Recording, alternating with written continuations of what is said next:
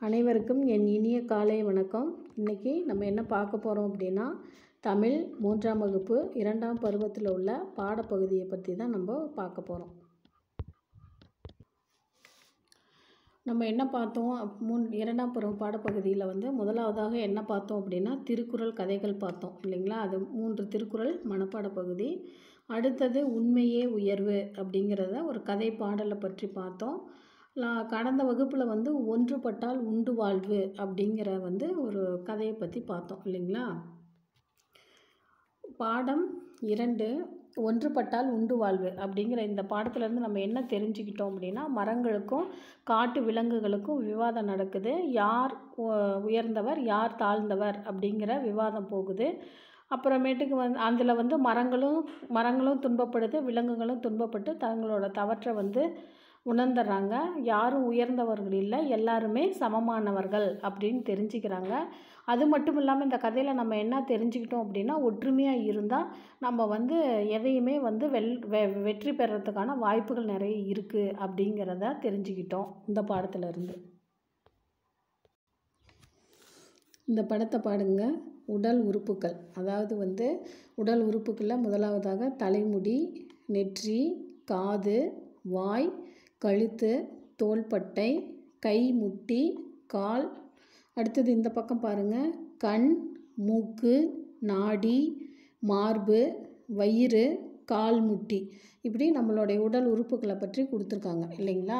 இந்த உடல் உறுப்புகளை வந்து எல்லாமே நம்ம உடல் உறுப்புகளில் எல்லாமே முக்கியம் இல்லைங்களா?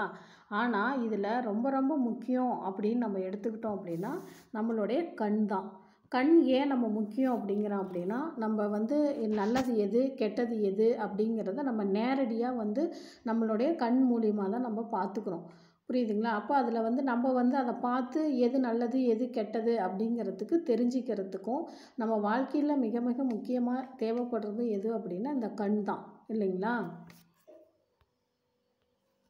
அதாவது இந்த படத்தை பாருங்கள் இந்த படத்தில் நிறைய புத்தகங்கள்லாம் இருக்குது இந்த புத்தகத்தில் இருந்து தான் நம்ம என்ன தெரிஞ்சுக்கிறோம் அப்படின்னா நிறைய விஷயங்களை வந்து படித்து தெரிஞ்சுக்கிறோம்.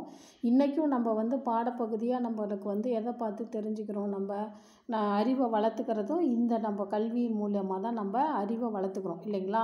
அப்போ வந்து இந்த கல்வி வந்து நமக்கு எவ்வளோ முக்கியம் அப்படிங்கிறதும் நம்ம தெரிஞ்சுக்கிறோம் இல்லைங்களா? அப்போ அதே மாதிரி தான் இப்போ உடல் உறுப்புகளில் வந்து கண் எவ்வளவு முக்கியமோ அதே மாதிரி நமக்கு வந்து நம்ம வாழ்கிறதுக்கு கல்வி வந்து மிக மிக அவ அவசியமான ஒன்று அதனால தான் வந்து கல்வி வந்து கண் போன்றது அப்படிங்கிற ஒரு தலைப்பில் இருந்து ஒரு பாடத்தை வந்து நம்ம பார்க்க போகிறோம் அந்த பாடத்தில் என்ன சொல்கிறாங்க அப்படிங்கிறத வாங்க பாடத்துக்கு போகலாம். பாடம் மூன்று கல்வி கண் போன்றது. விரியூர் கிராமத்தில் உள்ள பஞ்சாயத்து அலுவலகத்தில் அன்று கிராம சபை கூட்டம் வீட்டிற்கு ஒருவர் கூட்டத்தில் கட்டாயம் கலந்து கொள்ள வேண்டும் என்று தண்டோரா போட்டு அறிவிக்கப்பட்டு இருந்தது அறிவிப்பை கேட்ட பொன்வண்ணன் தம் கடையை பூட்டிவிட்டு கூட்டத்திற்கு சென்றார். அதாவது விரியூர் கிராமத்தில் வந்து பஞ்சாயத்து அலுவலகத்தில் வந்து கிராம தலைவர் இருக்கிறார் இல்லைங்களா? அவர் வந்து என்ன சொல்கிறாரு எல்லாத்தையும் வந்து கூட்டத்துக்கு வாங்க அப்படின்னு சொல்லி தண்டூரா மூலயமா வந்து அறிவிக்கிறாரு. அதில் பொன்வண்ணன் வந்து என்ன பண்ணுறாரு அப்படின்னா தன்னுடைய கடையை த பூ திறந்திருந்த கடையை பூட்டிட்டு அந்த கூட்டத்துக்கு போகிறாரு அப்போ இதில் வந்து தண்டூரா அப்படின்னு சொல்கிறாங்க இல்லைங்களா? அந்த தண்டூரா அப்படின்னா என்ன அப்படிங்கிறத வாங்க பார்க்கலாம். இங்கே பாருங்கள் இந்த படத்தை பாருங்கள் ஒருவர் கையில் வந்து மோளை மாதிரி வச்சுக்கிட்டு அடிச்சுக்கிட்டே வராரு. இது வந்து நம்ம ஊரில் நீங்களும் இப்போவும் நீங்கள் பார்த்துக்கிட்டு இருக்கலாம் இல்லைங்களா? அதாவது வந்து ஒரு பஞ்சாயத்து ஆஃபீஸில் வந்து ஏதாவது திருவிழானாலோ அல்லது ஏதாவது ஒரு செய்தி வந்து மக்களுக்கு சொல்லணும் அப்படின்னா இந்த மாதிரி ஒருத்தர் என்ன பண்ணுவார்? ஒவ்வொரு ஒரு வீதிக்கும் வந்து இந்த மாதிரி மோளம் அடிச்சுக்கிட்டே வருவாங்க. நம்ம என்ன பண்ணுவோம்? வீட்டுக்குள்ளார இருந்தாலும் நம்ம என்ன பண்ணுவோம்? மோளம் அடிக்கிறாங்க தண்டூரா போடுறாங்க என்னன்னு கேட்கலாம் அப்படின்னு சொல்லிட்டு நம்ம வீட்டை விட்டு வருவோம். அவர் வந்து அந்த என்ன செய்தி செய்தி சொல்ல வராரோ அந்த செய்தியை சொல்லிட்டு திரும்பவும் அடுத்த வீதிக்கு போயிடுவார். அந்த தண்ணூர் அடிச்சுக்கிட்டே போயிடுவார். இந்த மாதிரி ஒரு செய்தியை வந்து மக்களுக்கு சொல்கிறதுக்கு பேர் தான் தண்டூர் அடிக்கிறது அப்படின்னு சொல்லி சொல்கிறது இந்த மாதிரி இந்த மாதிரி தான் கிராமப்புறங்கள் எல்லாம் என்ன பண்ணுவாங்க? தண்டூரா மூலமாக மக்களுக்கு செய்தியை சொல்லுவாங்க. இப்போ அது மாதிரி தான் விரியூர் கிராமத்துலேயும் என்ன பண்ணுறாரு தண்டூரா மூலியமா அந்த ஊர் தலைவர் வந்து க கிராமத்து ஊராட்சி மன்றத்துக்கு வந்து அலுவலகத்துக்கு மக்களை வர சொல்லி தண்டூரா போட்டிருக்கிறாரு. அடுத்து பாருங்க. பஞ்சாயத்து தலைவர் கூட்டத்திற்கு வந்திருந்தவர்களை வரவேற்று பேசினார். அரசின் சிறு தொழில் தொடங்குவதற்கான உதவித்தொகை வழங்கும் திட்டம் குறித்து பேசினார். இத்திட்டத்தின் கீழ் யார் யாருக்கெல்லாம் உதவித்தொகை வந்திருக்கிறதோ அவர்களின் பெயர்களை படித்தார்.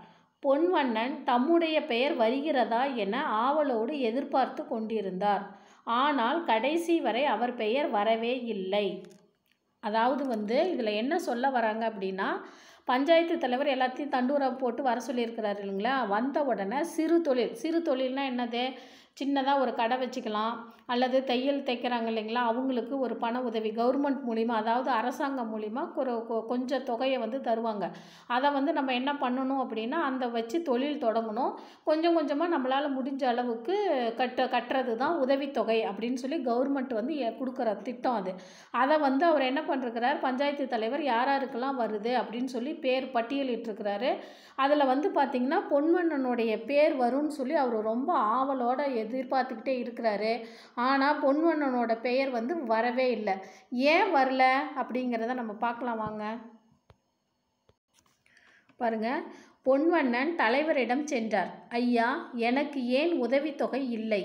நானும் பண வ வசதி இல்லாமல் மிகவும் துன்பப்படுகிறேனே என்று கேட்டார். யாருக்கெல்லாம் பண உதவி தேவையோ அவர்களுக்கான கூட்டம் பற்றி உங்களுக்கு அஞ்சல் மூலம் தெரிவித்திருந்தோமே. நீங்கள் ஏன் கலந்து கொள்ளவில்லை? என்றார் தலைவர். ஆமாம் போன வாரம் அஞ்சல்காரர் கொடுத்தார். படிக்க தெரியாததால் அப்படியே வைத்து விட்டேன்.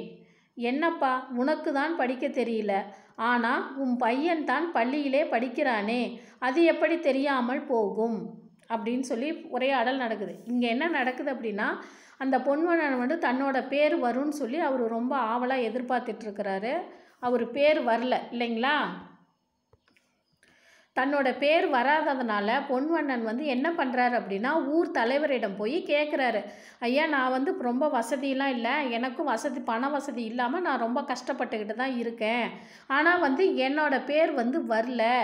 ஏன் வரல? அப்படின்னு சொல்லி கேட்குறாரு அதுக்கு தலைவர் என்ன சொல்கிறாரு யாருக்கெல்லாம் வந்து பணம் தேவையோ அவங்களுக்கு அஞ்சல் அப்படின்னா தபால் மூலிமா இப்போ தபால்காரர்கிட்ட லெட்ரு போட்டால் நம்ம என்ன பண்ணோம்? தபால்காரர் நம்மளை வீட்டை வந்து கொடுக்குறாரு இல்லைங்களா? அது மாதிரி நான் தான் அஞ்சல் மூலிமா வந்து நாங்கள் தே யார் யாருக்கெல்லாம் வே பணம் வேணுமோ அவங்கெல்லாம் விண்ணப்பம். விண்ணப்பம்னா என்ன அப்படின்னா வந்து எழுதி கொடுக்கறது. நாங்கள் அந்த மாதிரி கொடுத்துருந்தோம்ல அதே மாதிரி உனக்கும் வந்திருக்கும்லப்பா அப்படின்னு சொல்லி கேட்குறாரு அதுக்கு வந்து அவர் ஆமாம் எனக்கும் வந்து தபால்காரர் வந்து தபால் கொடுத்தாங்க. ஆனால் அதை வந்து நான் என்ன பண்ணிட்டேன்? படிக்க தெரியாததுனால அப்படியே நான் வச்சுட்டேன். அப்படின்னு சொல்லி சொல்கிறாரு அதுக்கு தலைவர் வந்து என்ன சொல்கிறாரு ஏப்பா உனக்கு தான் படிக்க தெரியல? உன்னோட பையன் தான் பள்ளியில் படிச்சிட்டு இருக்காங்கல்ல? அந்த பையன்கிட்ட கொடுத்தா படித்து பார்த்து க தெரிஞ்சிருக்கலாம்ல? அப்படின்னு சொல்லி சொல்கிறாரு பொன்வண்ணன் சற்று குற்ற உணர்வோடு தலை குனிந்தபடி கூறினார் ஐயா நான் மிதிவண்டி பழுது பார்க்கும் கடை வைத்திருக்கிறேன். எனக்கு உதவி அப்படி எனக்கு உதவி செய்வதற்காக அவனை அடிக்கடி பள்ளிக்கு விடுப்பு எடுக்கச் சொல்வேன். சில சமயங்களில் தொடர்ந்து பள்ளிக்கு செல்ல இயலாத சூழ்நிலை ஏற்பட்டுவிடும். அதனால்தானோ என்னவோ அவனுக்கு சரியாக எழுதவும் படிக்கவுமே தெரியாமலே போய்விட்டது. அவனுடைய ஆசிரியரும் இதை பற்றி என்னிடம் அடிக்கடி சொல்லி வருத்தப்படுவார்.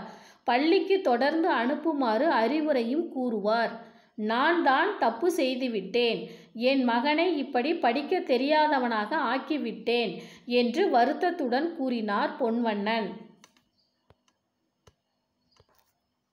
அதாவது அவர் என்ன சொல்கிறாரு தலைவர் வந்து உன்னோட பையனுக்கு தான் படிக்க தெரியுமே அப்படின்னு சொல்லி சொன்ன உடனே அந்த பொன்வண்ணன் என்ன பண்ணுறாரு குற்ற உணர்ச்சியோட ஐயோ நம்ம ஏதோ தப்பு பண்ணிட்டோமோ அப்படிங்கிற ஒரு குற்ற உணர்ச்சியோட தலை குனிஞ்சிக்கிட்டே அவர் என்ன சொல்கிறாரு அப்படின்னா சைக்கிள் பழுது பார்க்க அதாவது வந்து சைக்கிள் கடை வச்சுருக்காங்க. சைக்கிள் கடையெல்லாம் நீங்கள் பார்த்துருக்கீங்க இல்லைங்களா? கிராமப்புறங்களெல்லாம் நம்ம ஒரு மணி நேரத்துக்கு எடுத்துகிட்டு போய் நம்ம குழந்தைங்களெல்லாம் ஓட்டிகிட்டு கொண்டு போய் நிறுத்துவோம் இல்லைங்களா? அந்த மாதிரி அவங்க வந்து சைக்கிள் கடை வச்சுருக்காங்க. அந்த சைக்கிள் கடையில் வந்து அடிக்கடி காற்றடிக்கிற வேலை டயர் அந்த க்ளீன் பண்ணுற வேலை இதெல்லாம் இருக்கும் இல்லையா?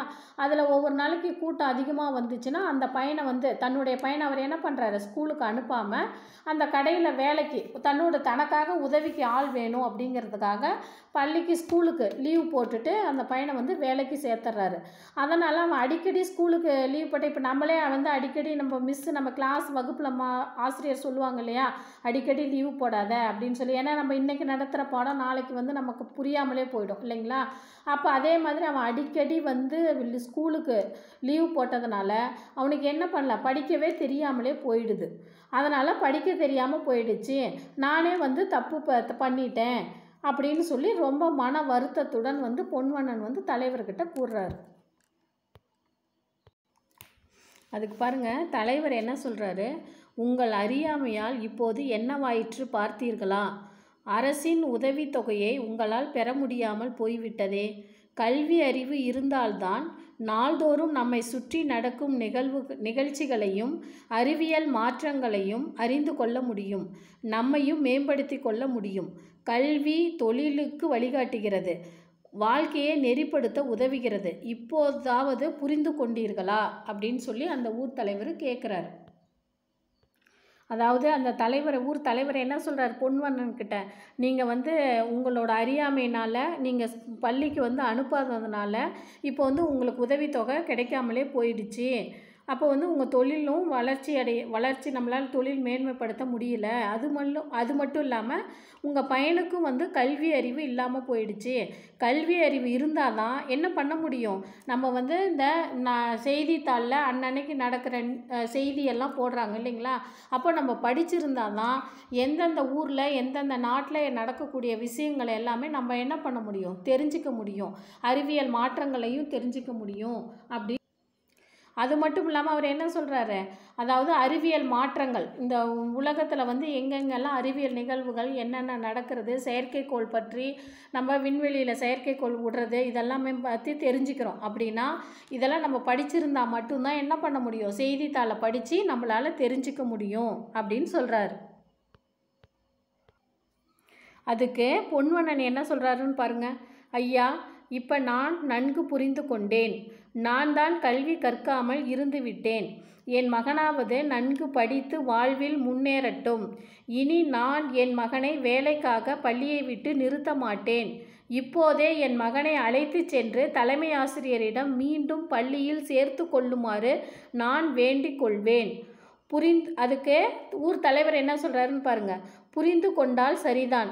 உங்களுக்கு ஏற்பட்ட இந்த அனுபவத்தால் நீங்கள் மட்டும் தெரிந்து கொண்டால் போதாது.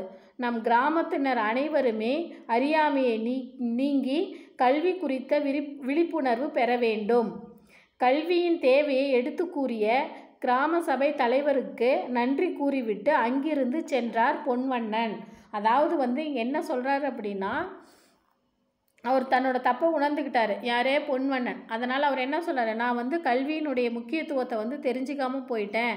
அதனால் நானும் கல்வி கற்க க கற்றுக்காமல் போயிட்டேன். ஆனால் என் மகனாவது நல்லா படித்து நல்ல மேன்மைக்கு வரணும். வாழ்வில் வந்து முன்னேறணும் அப்படின்னு சொல்லி சொல்கிறாரு அதனால் நான் இப்பயே போய் என்ன பண்ணுறேன் தலைமை ஆசிரியர்கிட்ட போய் மறுபடியும் என் பையனை வந்து பள்ளியில் சேர்த்துக்கங்க அப்படின்னு சொல்லி கேட்குறேன் அப்படின்னு சொல்லி சொல்லிட்டு இனிமேல் வேலைக்காக என்னோட பையனை வந்து பள்ளியிலேருந்து நான் நிறுத்த மாட்டேன் அப்படின்னு சொல்லி சொல்கிறாரு அதுக்கு ஊர் தலைவர் என்ன சொல்கிறாரு உன்னை கல்வி இப்போனாவது நீ உன்னோட தப்பை உணர்ந்தால் சரி நீ மட்டும் உணர்ந்தால் பத்தாது. இந்த மாதிரி கிராமத்தில் நிறைய பேர் படிக்காதவங்க இருப்பாங்க இல்லைங்களா? அவங்களுக்கும் இந்த அறியாமையை வந்து தெரிஞ்சுக்கணும். அப்படின்னு இது வந்து ஒரு விழிப்புணர்வாக இருக்கட்டும். விழிப்புணர்வுனா என்னன்னு கேட்டிங்கன்னா இப்போ நம்ம நடத்துகிறோம் இல்லைங்களா? இது மூலிமா என்ன தெரிஞ்சுக்கிட்டோம்? கல்வி மிக அவசியம் அப்படிங்கிறத நம்ம தெரிஞ்சுக்கிட்டோம் இல்லைங்களா? அந்த மாதிரி கிராமப்புற மக்களும் தெரிஞ்சுக்கிட்டோம் அப்படின்னு சொல்லி சொல்கிறாரு அதுக்கு வந்து பொன்வன் என்ன சொல்கிறாரு கிராம சபை தலைவருக்கு வந்து நன்றி சொல்லிட்டு அங்கிருந்து கிளம்புறாரு. இல்லைங்களா? இப்போது இந்த பாடத்துலேருந்து நம்ம என்ன தெரிஞ்சுக்கிட்டோம் அப்படின்னா கல்வி வந்து நமக்கு மிக மிக அவசியம் அப்படிங்கிறத தெரிஞ்சுக்கிட்டோம். இந்த கல்வி இல்லாமல் பொன்வண்ணன் வந்து எவ்வளவு இன்றைக்கி வாழ்க்கையில் வருத்தப்பட்டார் அப்படிங்கிறதையும் தெரிஞ்சுக்கிட்டோம்.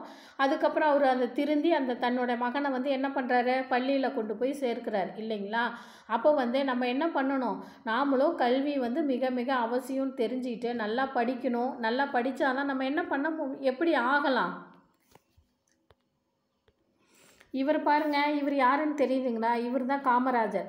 இவர் தான் நம்மளுடைய கல்வி கண் திறந்தவர் யார் அப்படின்னு சொல்லி கேட்டிங்கன்னா காமராஜர் தான். இவர் தான் கல்விக்காக நமக்கு வந்து நிறைய உதவிகள் வந்து ஏழை மக்களுக்கும் சரி அப்பயே வந்து நிறைய உதவிகள் செஞ்சு கல்வி மிக மிக அவசியம் அப்படின்னு சொல்லி மக்களுக்கு எடுத்து விழிப்புணர்வு கொடுத்து மக்களுக்கு வந்து ப பள்ளிக்கூடத்துக்கு அனுப்பணும் குழந்தைங்கள அப்படின்னு சொல்லி செஞ்சவரே யார் அப்படின்னா இந்த கல்வி கண் திறந்த காமராஜர் தான்.